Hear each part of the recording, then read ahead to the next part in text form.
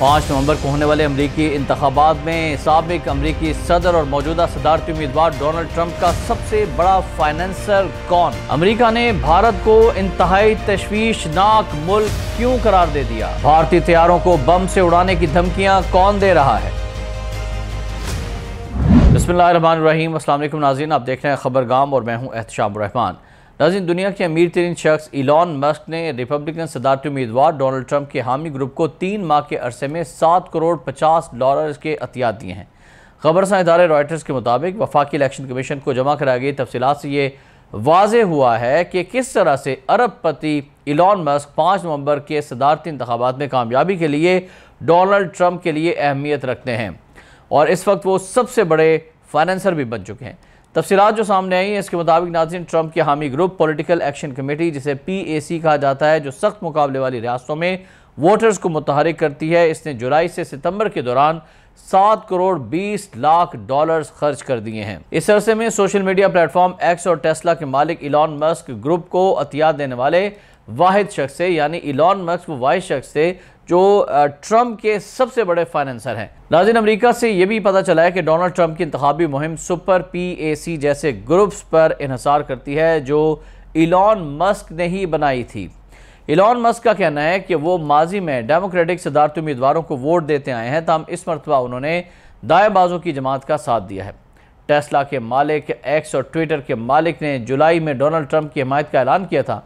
और आर रियासत पेंसिल्वेनिया की इंतबी रैली में भी रिपब्लिकन उम्मीदवारों के हमरा मौजूद थे। और आपको बताएँ कि गुजशत दो रोज़ पहले, यानी बुध को इलान मस्क ने एस पर लिखा कि वो पेंसिल्वेनिया के मुख्तलिफ़ शहरों में लेक्चर्स देंगे और साथ ही कहा कि तकरीब में शिरकत के लिए पी ए सी की वेबसाइट पर मौजूद पिटिशन पर दस्तखत करना होंगे। इसी तरह गुजशत हफ़्ते जराये के हवाले से ये बात भी सामने आई थी कि इलॉन मस्क पेंसिल्वेनिया में डोनाल्ड ट्रंप के लिए मजीद मुहिम भी चलाएँगे और ये रियासत दोनों सुधारती उम्मीदवारों, डोनाल्ड ट्रंप और कमला हैरिस के लिए अहम समझी जाती है। पॉलिटिकल एक्शन कमेटी अपनी तवज्जो उन वोटर्स पर मरकूज किए हुए है जो डोनाल्ड ट्रंप को पसंद तो करते हैं, लेकिन हमेशा वोट नहीं डालते। तो इससे अंदाज़ा लगाया जा सकता है कि पीएसी जो है वो किस तरह से इलॉन मस्क उसे चला रहे हैं फंड कर रहे हैं फाइनेंस कर रहे हैं, ताकि वो ज़्यादा से ज़्यादा वोटर्स को कायल कर सकें, उनको अपनी तरफ़ रागब कर सकें, उनको पैसे के ज़रिए से लालच देकर ट्रंप को वोट डालने पर मजबूर कर सकें।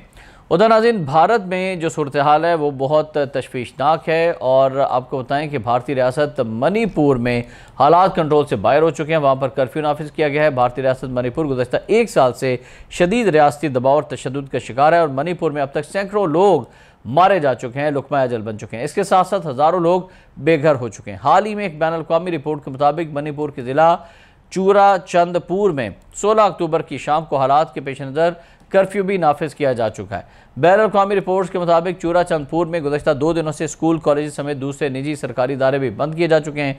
आवाम को शदीद मुश्किल का सामना है और इस इलाके में पिछले 48 घंटे से इंटरनेट सर्विसेज़, दूसरे ज़रा मवासलात भी मअतल किए जा चुके हैं, जिसकी वजह से इलाके में निज़ाम ज़िंदगी मफलूज होकर रह चुका है। इससे कबल अम्फाल वैली और इसको गिरदोरवा में भी कर्फ्यू नाफिज किया गया था, जो कि अब तक जारी है।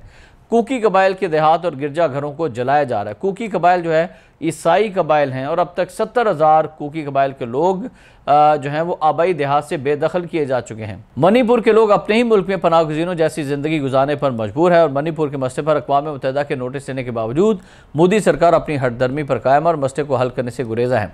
बीजेपी न सिर्फ़ रियासती बल्कि इलाकई सतह पर बदमनी और गैर यकीनी के हालात पैदा कर रही है। अकवा मुतहदा इंसानी हकूक की तंजीमों को चाहिए कि वो मणिपुर के मसले की गैर जानबदाराना तहकीक़त करें और बीजेपी का असल घिनौना चेहरा पूरी दुनिया के सामने वाजे करें। उधर नाजीन अहम डेवलपमेंट ये हुई है कि यूनाइटेड स्टेट्स कमीशन बरए बैन अवी मजहबी आज़ादी, जिसे U S C I R F के नाम से जाना जाता है, उसने भारत को इंतहाई तशवीशनाक मुल्क करार दे दिया है। U S C I F के मुताबिक बीजेपी के इकतदार में मजहबी इम्तियाज़ की पॉलिसियों का फ़रोग हुआ और इससे मुसलमानों, ईसाइयों, सिखों, दलितों और आदियावासियों पर मनफी असरा पड़े। हुकूमत ने यू पी ए के तहत एन जी ओज़ को निशाना बनाया, हरासा किया, इमलाक को मिसमार किया। U S C I F की, यानी अमरीकी इदारे की इस रिपोर्ट के मुताबिक भारत में मजहबी अकलीतों और उनकी हामियों की आवाज़ें दबाई जा रही हैं, जबकि पाकिस्तान ने मजहबी आज़ादी के लिए अहम कोशिशें की हैं, जैसे करतारपुर राहदारी का खोला जाना। इस अमरीकी इदारे की रिपोर्ट में यह भी कहा गया नाजिन के सिख यात्रियों की रसाई आसान बनाना पाकिस्तान के अज़म की अलामत है। और भारत में मजहबी अकलीतों पर हमले बढ़ चुके हैं। बशमूल मुसलमानों की मसाजिद को शहीद किया जा रहा है। गाय की स्मगलिंग के इल्ज़ाम में ईसाइयों, मुसलमानों और दलितों के खिलाफ तशद किया जा रहा है, उनको कत्ल किया जा रहा है। इसी अमरीकी इदारे U S C I F की रिपोर्ट के मुताबिक बीजेपी के रुकन असम्बली ने गाय के जबिया पर तशद को भड़काया है।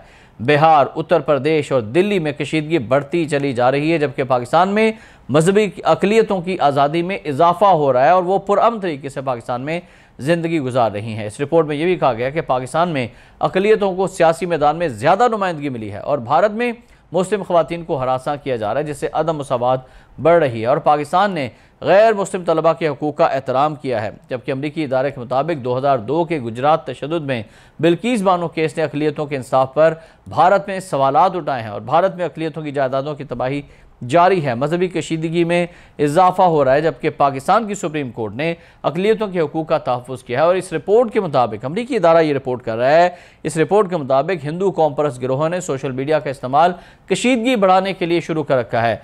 पाकिस्तान ने तोहन रसालत कानून में असलाहत के अज़म का इजहार किया है। और अमरीकी इदारे का कहना है कि दूसरी जानब, भारत में एन आर सी शहरी तरमीमी एक्ट और मुसलमानों को पसमानदा करने की कोशिशें ही आसाम में सात लाख से ज़्यादा मुस्लिम बाशिंदों को ख़तरात में मुबतला कर रही हैं। उनकी शहरीत को ख़तरात लाक हो चुके हैं।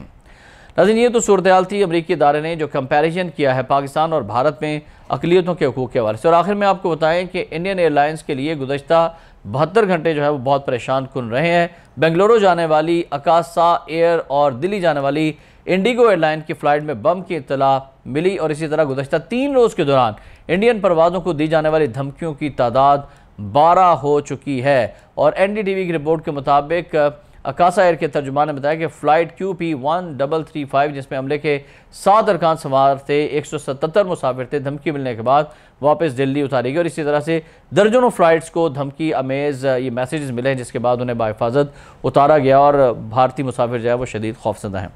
नज़र आज के इस व्लॉग से फिर वक्त इतना ही। शाम रहमान को इजाज़त दीजिएगा। अल्लाह हाफ़